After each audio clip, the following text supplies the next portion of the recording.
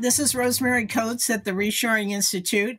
I'm here today with my guest, Aaron Halfacre, who's the CEO of a company called Modiv that's um, involved with real estate supporting manufacturing across America.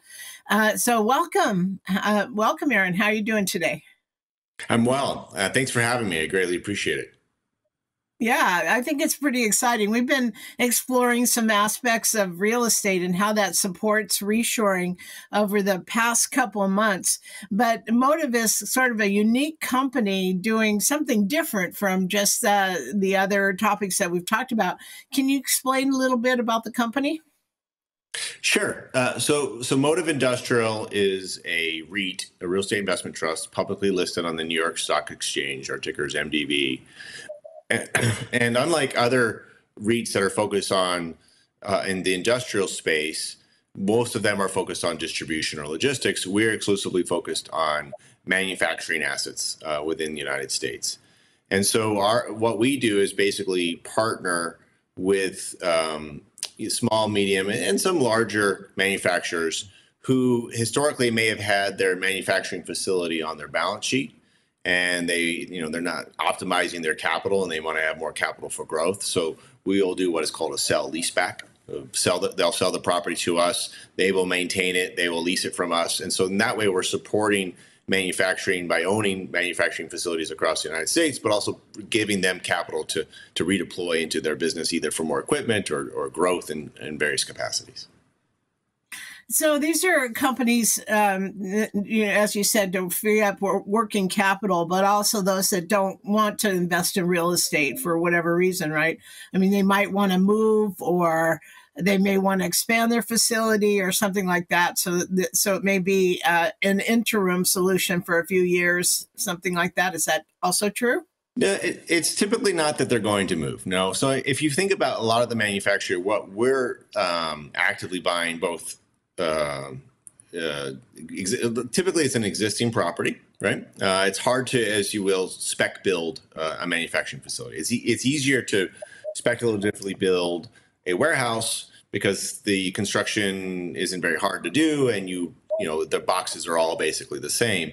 But when it comes to a manufacturing facility, it, it can be very bespoke, right? So it's going to have the needs of the manufacturer designed into the building and so what we tend to find is uh, look for survivorship bias because you think about over the last 40 years how much had gotten offshored. Uh, we are actively acquiring those assets uh, manufacturers who survived all that. So they have a natural survivorship bias. They are critical components to our U.S. economy, often inf- times infrastructure based. And so the decision to go and do a sell to someone like us is realizing that the capital that's embedded in the real estate isn't the highest and best use of their capital on their balance sheet. And in fact, if they were to sell that and rent it back from us, that they would then have this capital freed up to provide growth. That might mean uh, expanding the existing facility. It might mean adding to an, uh, creating a second facility. Or oftentimes, what we do is we see that they're using that money in, in terms of M and A opportunities so they may take that money, buy another small manufacturer, and, and you know, and that complements their product offering.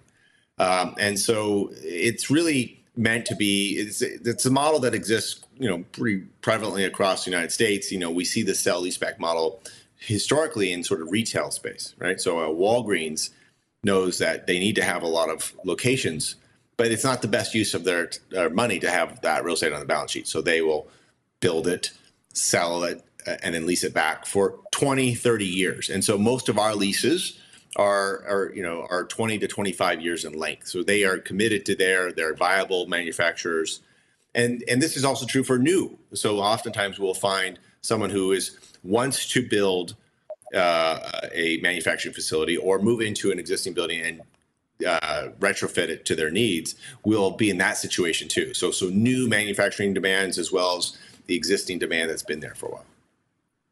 Okay. So, can you give us a couple of examples of the kind of buildings you've worked with? What kind of manufacturers are we talking about?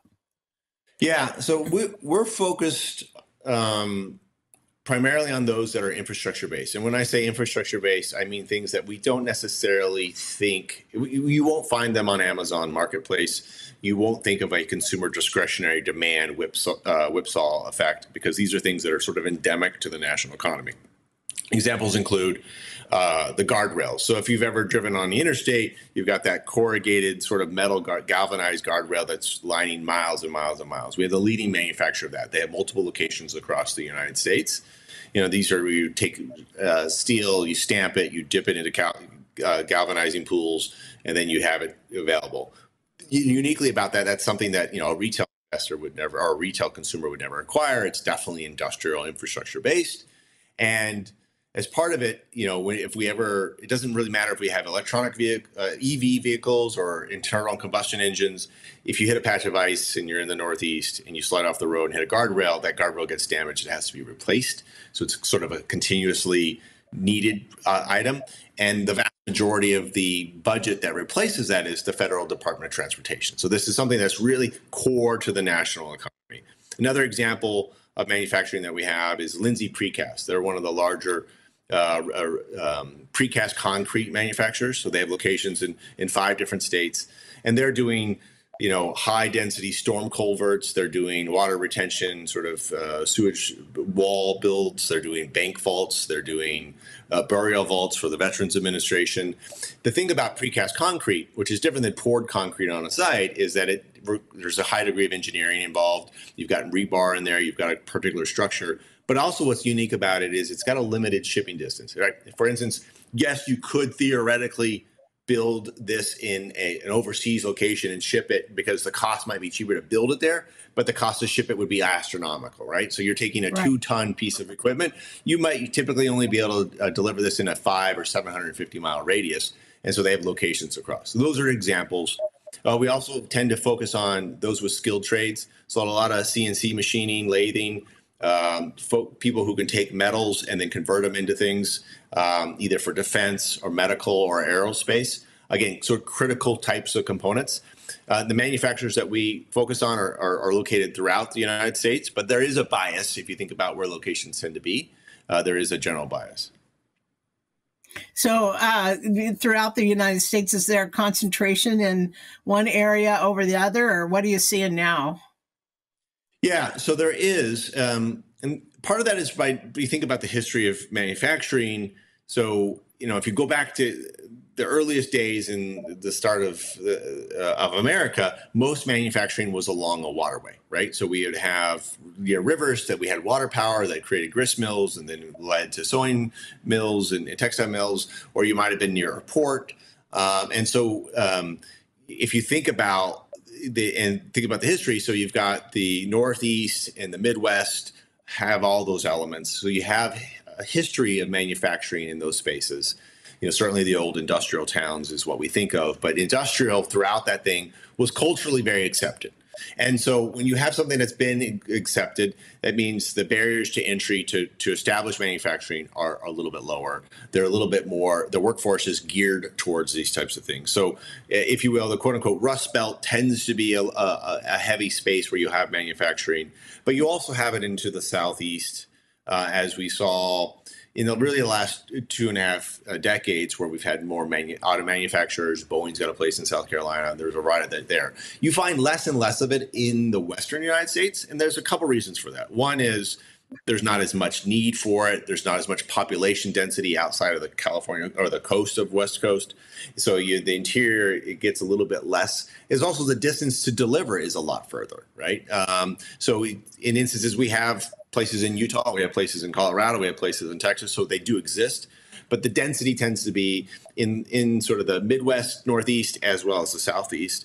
And that's really because if you think about uh, not only is it a low barrier to entry to create, but you also have a lot of existing um, uh, property areas that could be used for new manufacturers.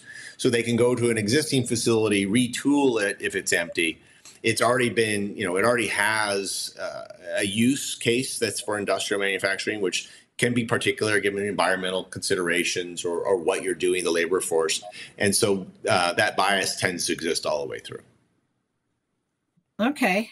So, um, so the properties located along the tr- traditional industrial corridors, um, but you know we're also seeing a development of uh, industry in in other areas, uh, low cost areas or high productivity areas such as Salt Lake City, um, around the Phoenix area. I mean, these are places that are un- not traditional. Certainly, Phoenix has uh, got the Salt River, but uh, yeah. and Colorado River water, but you know there's um, issues there, of course, with water.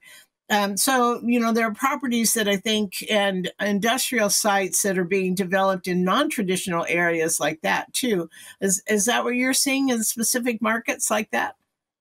So, so if you look in the broader sense of industrial, yeah, absolutely. So you know, um, the advent of of you know the just-in-time delivery model that really sort of um, a lot of people use predicates the need for a warehouse. And warehouse having last mile or first mile distribution centers are, are a very common theme. And because they can be speculative built, so I could go take, you know, th- I could take three other partners, you know, and come up with a little bit of bank financing and I go build a warehouse, right? And then I got to go find someone to lease it.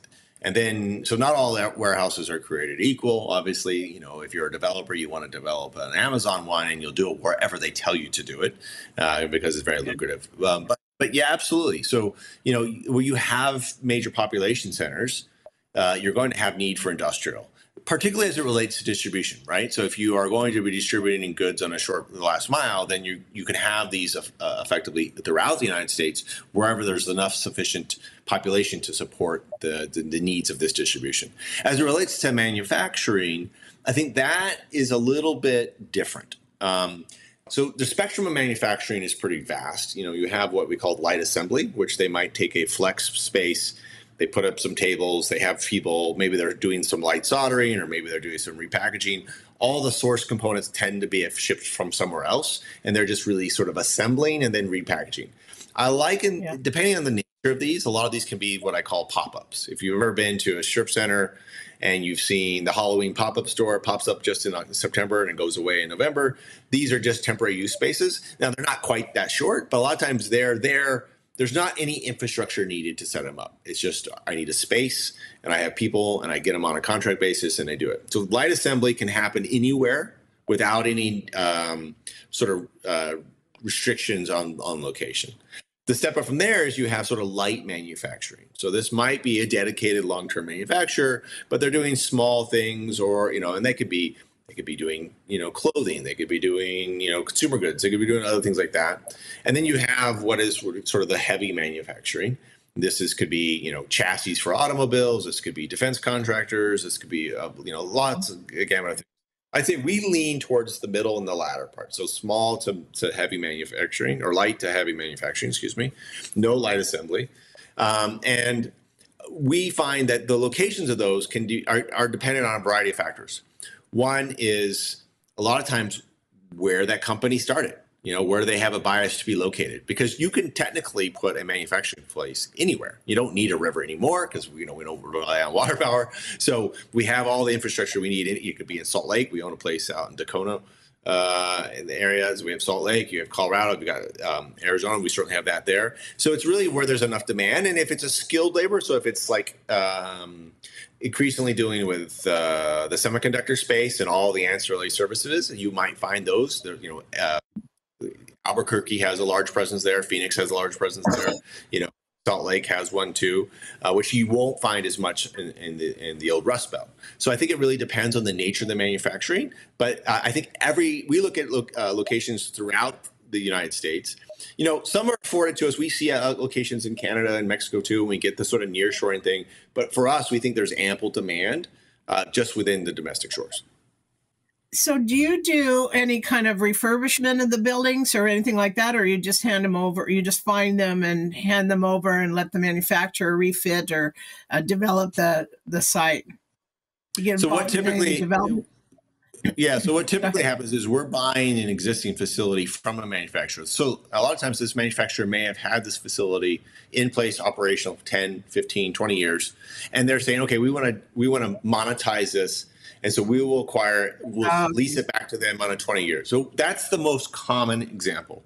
Now, the other examples are uh, you can take someone who says, like, we are, we've outgrown our prior space, our lease is ending, we're picking this new space, and we're going to do a brand new sell lease back at this time, right? So maybe they acquired the space and they or or they need us to acquire the space and get retrofitted. So we'll help them in that regard providing capital to them to help you know maybe they need to move for instance we have one tenant who just recently was able to acquire a 100 ton press from someone else and they needed space to to incorporate it into their facility so we help them where they could expand their facility uh, build onto the tack onto the existing space move the the ton the 100 ton press in there so they could expand their revenue line so we'll work in a lot of ways like that so we might say here's some capex that allows you to expand your existing facility or consolidate into this one facility. The, the, the, third rung is you can do what is called a build to suit. So someone says, "Hey, we really want we we want to Uh, have a new facility in you know Minnesota, and this is where we think we'd like to have it." and we've got the plans, you know, but we need capital. So we'll do a build a suit. So it's designed specifically for them. It's not generic or spec built where it's just like it's a box and whoever wants to take it gets it. It's got a purpose. We know who's going to be leasing it at the end. We will do those as well, where we'll provide the capital, it gets built, and then once it's built, then we sign a long term lease with the tenant. Okay, got it. All right. So a lot of uh, existing facilities that uh, the manufacturers already there, they're going to lease it back from you. So it's a financial tool essentially to help with working capital and long-term financial plans by these companies. Absolutely, it is. It's very much a financial tool for them, and it's also a service tool, right? So you know, um, if they do want to expand, uh, depending on where if they're a smaller or medium manufacturer, uh, they may not have as you know robust access to capital. You know, as a publicly traded REIT with a credit facility and things like that, our cost of capital needs are different than a lot of smaller companies would be. What What about the trucking industry? Are you doing anything with truck terminals or investment in in, in trucking? We we are not. Uh, we have nothing against it. Uh, we just think our focus is on the manufacturing facilities. You know, they are obviously okay. served by cross dock uh, truck terminals and things like that. And we we spend a lot of time analyzing. Um, you know, which vendors are using, how often they're having deliveries and shipments made, you know, uh, where are they typically, what's the nearest hubs that they're looking at. So we'll do a lot of that when it comes to our underwriting. I think it's a very viable asset class. Um, you know, I think there's, uh, it's an active space. It's just that one that we don't actively uh, acquire investments in. Okay. Yeah, there's some churn in the industry right now. Some some uh, yellow freight, for example, went out of business, yeah. and they're there's properties available and so you know there's a kind of a turnover there well so what industries are most active now out of out of the manufacturing industries that you're dealing with is it more um, you know the traditional heavy industry with metalworking and that sort of thing or more lightweight assembly are you seeing or more high tech well, I think the rhetoric that we hear out in the marketplace is all high tech, right? So it's either clean tech or semiconductors, and I think that's you know the Chips Act and the Inflation Act; those are all great things. Um, you know, there, there's a nat- natural defense uh, mindset to add semiconductor back on the U.S. shores. Uh, where those are very large scale facilities, right? You know, we've seen the headlines; these are typically in billions, uh, and so you know, having a single fab that was you know a billion dollars would not be a, a, good form of diversification for a REIT, unless the REIT was, you know, hundred times that size, which we're let, not. Let so, me stop you. Let me stop you there for a minute. Can you explain? Yeah. So this is a question I had earlier. Um, can you explain the difference between the long-term lease and the use of a REIT? Yeah. So a REIT is a uh, is a tax election that the, the REIT the REIT structure has been around since 1959. Uh, a REIT means that as a corporation, we don't have we don't pay corporate tax. So if you think about IBM or Intel, they go sell, make revenue, they pay a tax on that revenue, and then if they pay you a dividend, you pay another tax uh, which is typically going to be your personal income tax rate. So as a REIT structure, uh, we do not on the rents we get collected, we get paid no, we pay no tax. We're, the requirement is we have to distribute the vast majority of that income, that taxable income, to investors in forms of dividends. So it's a dividend producing type of stock. REITs can be publicly traded or not. We are, as I mentioned, on the New York Stock Exchange. And so we are a publicly traded stock that is focused exclusively on real estate. In our case, our real estate focus, and there's all types. You can have apartments, you can have office, you can have whatever. Um, we're focused on net lease manufacturing, and and so we pay a dividend. So that's you know the REIT that we are, and then the net lease sell lease back is the type of lease structure that we utilize, and then manufacturing is the asset class that we utilize that lease, lease structure on. So if someone wants to have you know thinks believe strongly like you and I do about reshoring, and they believe in the growth in manufacturing. I, um, you could certainly buy an industrial name, like if you wanted to go buy, you know, a stock, Boeing stock, for example, you could do that. Um, but we're the, I think, uniquely the only name uh, for a fact that does just manufacturing. So there are numerous REITs you can acquire that do industrial distribution. You know, Prologis is the most the well most well known and the largest, but there's there's countless others. There's East Group, there's Terreno, there's you know you name it, Plymouth, LXP. But in terms of manufacturing, we're the only space that does it. Okay, all right. So that's helpful uh, to understand a little bit. This is a financial tool that provides dividends, right? So Okay. Yes. Um, there's yeah. a lot of buzz right now about a manufacturing super cycle coming uh, because of the three big acts that are pouring billions of dollars into the economy. So the uh, the Inflation Reduction Act. Um, which has got the green energy funding. Most of it is in that act, the Chips and Science Act, which of course is semiconductors, and the Infrastructure Act, which uh, hopefully will uh, repair our roads and bridges so that we can actually move the goods that we're making. Uh, all of these are really important to manufacturing environment so that so that it can indeed flourish going forward. And as we develop new new uh, new industries and new approaches to manufacturing in America. Um, are you seeing an upturn in demand as a result of this influx of, of money, or not yet? Or what do you see coming? In, in, in demand, in what sense? You mean like in sort of order demand for manufacturers, yes. or yeah, yeah? Yes. You know, so, I, I, yes. Actually, I think I, so. A couple things. I think I think the the headlines of these acts are are phenomenal. I think they're very positive. Um, I think there is a large degree of political rhetoric associated with them, uh, and so we're in an election year, so we have to think about you know the sustainability of that. I think they're they're you know they're good for the U.S. economy and they're good for. Um, so I think they're good for either presidency, depending on who where we end up.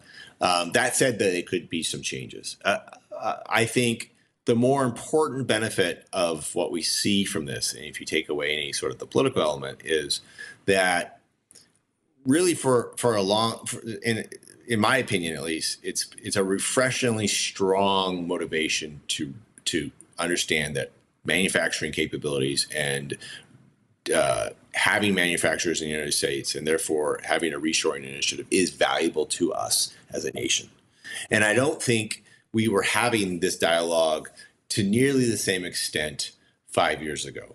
Even though we knew it was important, I think people hadn't felt the pain. And I think through the COVID, uh, the COVID nineteen crisis, as well as what we're seeing in Ukraine and the geopolitical risks, we have understood that the global just-in-time delivery model that has been taught, you know, by business schools and by and drummed into every sort of business leader in the space for the last forty years has now realized that it has some caveats.